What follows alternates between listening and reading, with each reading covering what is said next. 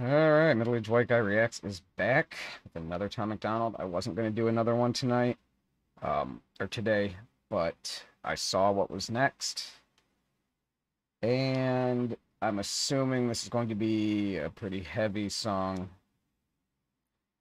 And if I'm going to be emotionally drained after a song, I'd rather do it at night than start my day off tomorrow morning emotionally drained. So I'm going to do this one to get it out of the way. I don't even know. I don't even know if I'll be able to get through this. We'll see. All right, Tom.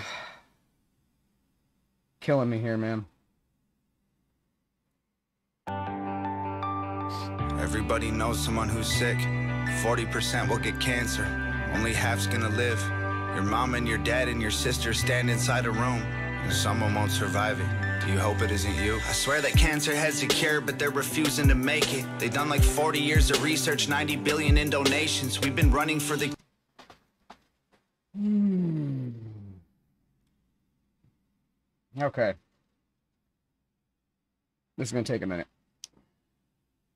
He's absolutely right. I, I, I don't know about like specific cure, okay? But if you haven't followed my channel, I'm in the medical field. I'm an x-ray tech. Um, I have worked for several hospitals. Okay. The staff that treats you every day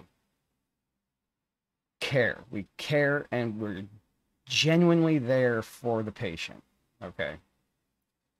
The nurses, the x ray techs, the phlebotomists, the physical therapists, and most of the doctors, they their goal is to treat the patient and, you know, make you feel better. Okay? That's what we want to do. We want to help people. We genuinely want to help people. Now, not every single one of us, but a large majority. Okay? Unfortunately, there is a layer of bureaucracy over top the hospitals that are detached from the patient care. All right, there's a bunch of suits who went to business schools and have MBAs, and they don't treat the patients, they don't interact with the patients, they don't stay at the hospitals, they're in corporate offices downtown.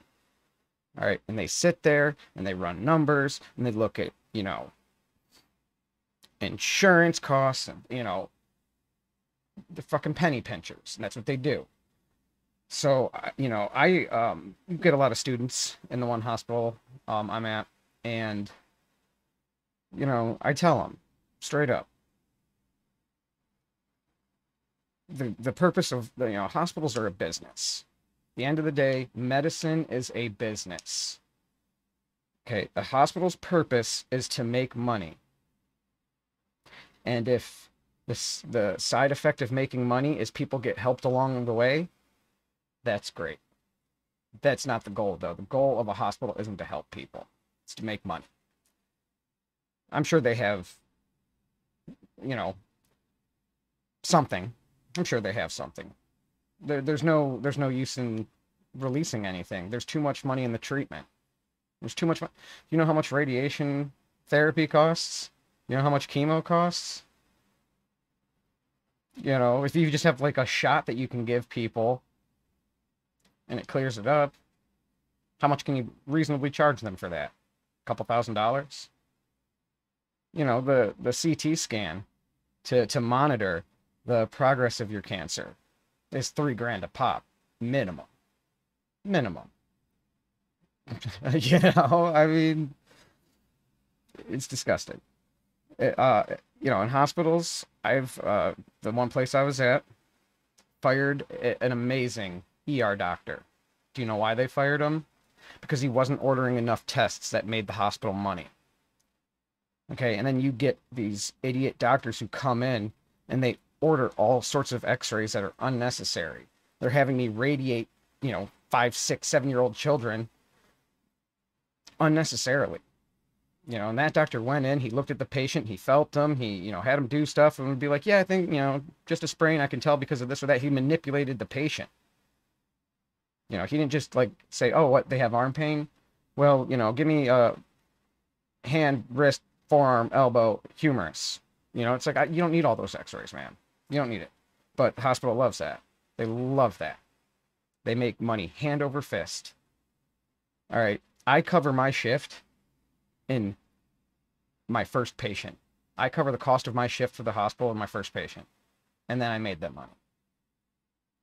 You know, the the, the first chest X-ray I do, which is just two quick pictures, one from uh, back to from the back to the uh, film, essentially, um, and then another one coming with the X-rays coming from the side to the film. It's two quick shots. Takes me five minutes. I just made him five hundred bucks. You know, I mean, it is what it is. All right, that's what I have to say about that. Let's keep going. Karen wearing ribbons for ages. Why are people still going through radiation? It's crazy. Hundred billion dollar industry, they can't afford to end it, and nobody wants to die. Our only option is to spend it. We'd give anything to stick around for just another second. Give a fortune to the doctors who promise they can extend it. The profits are astronomical. The hospitals and the clinics are filling coffins with dollars. It's awful. Let's just admit it. We're all human. We'll keep fighting. live it every how we survive. I live it every day, every day. But it's scary because we don't know where we'll go when we die.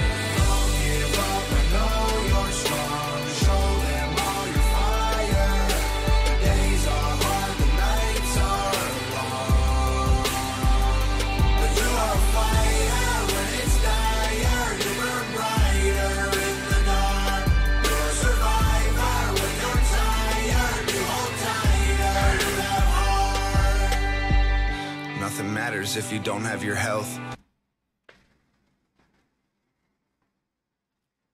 Yeah, I think we all have the family members and, you know, people who have passed from this. So, yeah. All the money in the world doesn't help. The good might go to heaven and the bad might go to hell. But no one wants to leave here, you can tell. And cancer touches everyone, it's in our genetics. And our world's become so toxic, it's all carcinogenic. We've polluted the water, the air, the food we're ingesting is full of hormones and poison. Our population's infected. They sell us cigarettes and liquor, built a business on addictions. We've been paying them to kill ourselves. We're dying to keep living. It's the system, it's a prison. We keep trying to beat it. We get cancer from keeping all of our demons a secret. And our insurance don't cover the things we need to defeat it. And even if it does, then we might die from the treatment. Our best defense is living like we do not know what cancer is. Fight it if you have it and pray that there's something after this.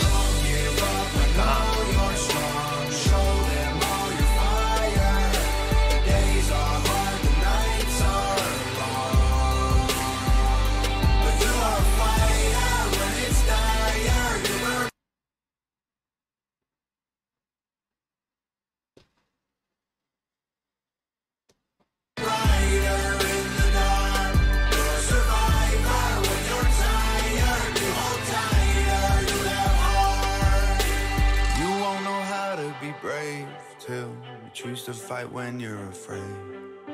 And you can't experience strength till you struggle to carry the weight.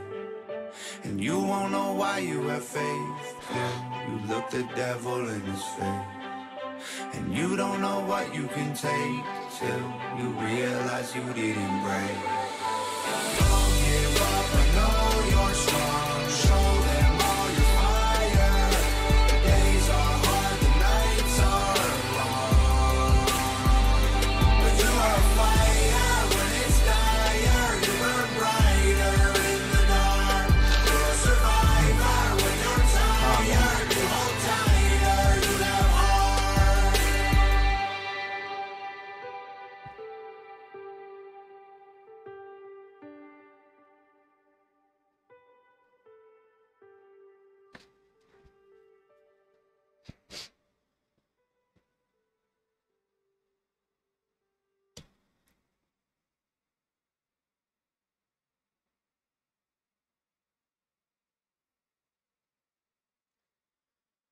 Ah, I knew I wouldn't be able to do this one. God.